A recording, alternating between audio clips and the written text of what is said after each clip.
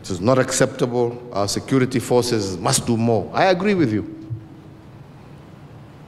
More than any time again before, we have really worked to ensure that we equip, we look after their welfare, we provided vehicles, and we will do more.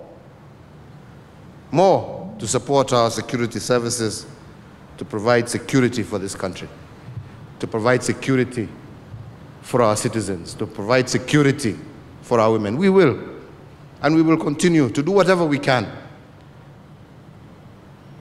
to ensure we do that. But let me tell you one thing also. No matter how much we do, there will never be one policeman for every citizen in this republic. It's not possible. Let us not cheat each other. Unless we as citizens work together with our security forces, all the things that we're talking about will never happen.